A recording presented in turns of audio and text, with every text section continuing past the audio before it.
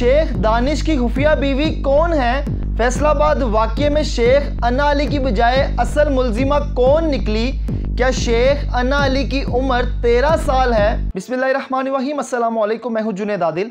फैसलाबाद में एक बड़ा अफसोसनाक वाक्य पेश है जब मेडिकल की फाइनल ईयर की स्टूडेंट खतीजा को सिर्फ़ इसलिए तशद का निशाना बनाया गया कि उसने अपनी दोस्त के वालिद के साथ शादी से इनकार किया।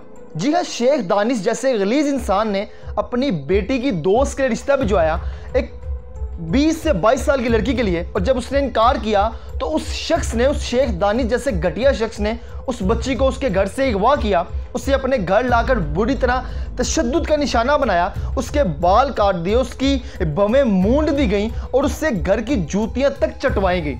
बुरी तरह मारा पीटा गया और ये सब कुछ उसके भाई हसन के सामने किया गया, उसके भाई को भी उसके साथ उठा के लाया गया और उसके सामने उसकी बहन पर बुरी तरह तशद किया गया। इस वक्त शेख दानिश छः मुलजिमान के साथ, इस वक्त जेल की सलाहों के पीछे वो छः मुलजिम, कौन से उनके नाम आपको पढ़ के सुनाता हूँ। शुएब, असगर, फैज़ान, तैयब, चार, पांचवी इसमें एक खातून है। अब मैं इस केस के कुछ ऐसे हकाइक आपके सामने रखने जा रहा हूँ जिससे आप बेहतर तौर पर फैसला कर पाएँगे कि कौन सच पे है और कौन झूठ पर।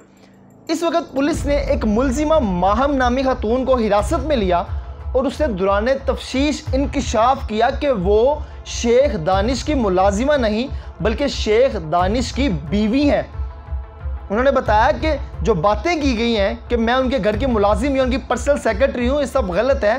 मैं उनकी मनकूहा हूँ और मैं उनके निकाह में हूँ। और आपने उनको देखा होगा कि वीडियोस के अंदर उनकी आवाज़ भी आ रही है कि वो थप्पड़ मार रही है उस बच्ची को। उसे जूतियाँ चटवा रही है और उससे कह रही है कि शेख, जो शेख अन है, उससे माफ़ी मांगो और मैं तुम्हें इबरत का निशाना बनाऊँगी। दूसरा बड़ा अहम सवाल कि इस केस की असल मुलजिमा कौन है? तो इस केस की असल मुलजिमा भी ये माहम नामी खातून है। जब इनको जिस्मानी रिमांड मंजूर करने के बाद अदालत से वापस थाने ले जाया जा रहा था तो मीडिया ने इन्हें घेर लिया और इनसे ये सवाल किया कि आपने उस बच्ची पर तशद क्यों किया?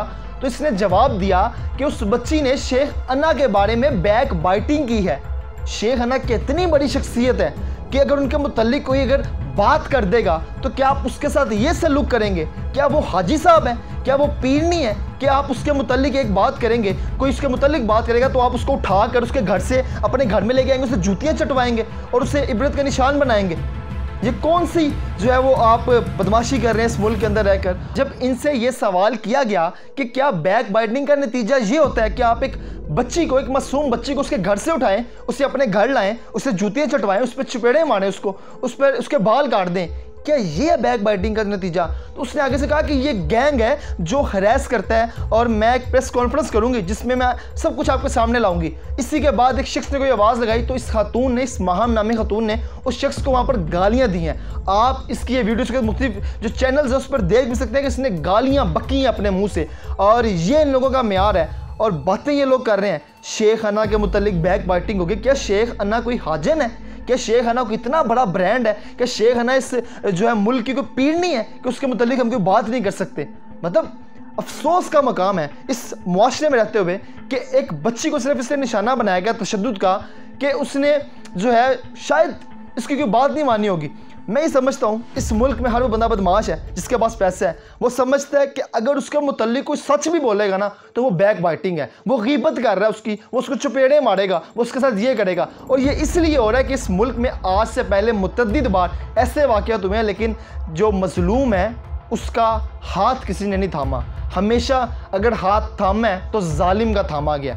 उसके बाद तीसरा बड़ा अहम सवाल कि इस खतून ने चलते हुए इंकशाफ किया? कि शेख अना की उम्र तेरह साल है। यार, ये बात सुन के यहाँ तो आप जो अपने सर पीट लें या मैं अपना पीट लेता हूँ। आप ये तस्वीर मुलाहिजा फरमाएँ और इन तस्वीर को देखने के बाद मुझे बताएँ कि क्या शेख अना तेरह साल की है। मतलब झूठ पे झूठ बकरे हैं ये लोग और एक इतनी भरी जो है इन्होंने जुल्म की एक तारीख कायम की है।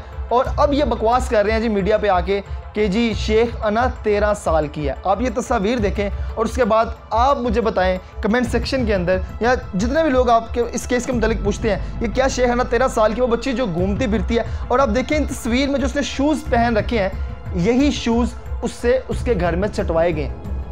ये वो तमाम हरकत है जिस बच्ची के साथ की गई और ये भी खबरें कि उस बच्ची के साथ जिनसी ज़्यादती करने की भी कोशिश की गई लेकिन उसमें वो शख्स, वो गलीस शेख दानिश नामी शख्स कामयाब नहीं हो सका।